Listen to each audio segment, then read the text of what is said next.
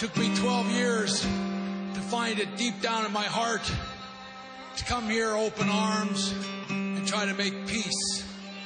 I actually believed that maybe I could put this all behind me for once and for all. But I was wrong, and it doesn't sit very well with me. I didn't come here tonight to make peace. I came here to talk to Vince McMahon face to face. So, Vince McMahon, if you're back there, you better get your down here. I've never regretted a thing I've said. I've never regretted a thing I've ever done to you. Well, congratulations. That's the first honest thing you've ever said to me. You lied to me in Montreal. It Took me 20 years to build up your reputation. It took you three minutes to tear it all down. You lied to me a few weeks ago when you kicked me in the gut. Left me in the ring here feeling pathetic.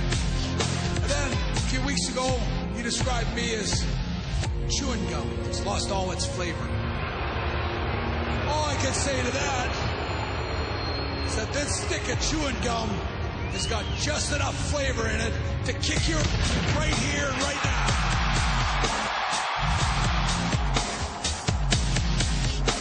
There he is, folks.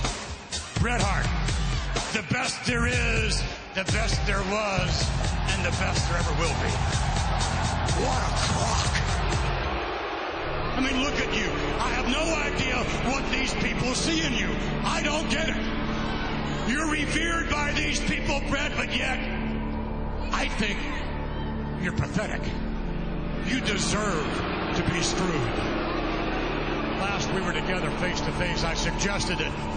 perhaps I was going to nominate your dad's Stu, for uh, this year's Hall of Fame. That's not going to happen because he doesn't deserve it.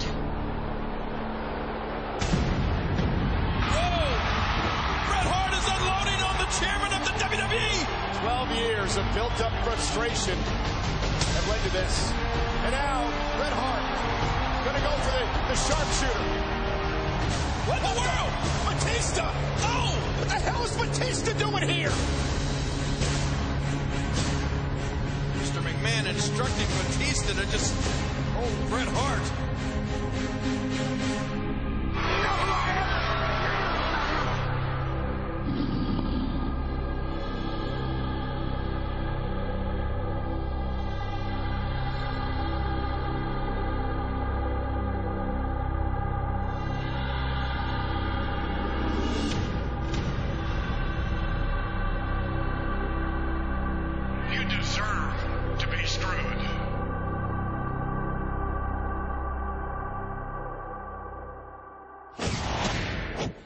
As disturbing as that footage was, Matt, uh, that has nothing on what we're about to see what happened after Raw went off the air. Oh, Raw comes to us live every Monday night, and anything can happen on live television. You're going to see exclusive footage, never before seen, what happened after Raw went off the air between Batista and John Cena.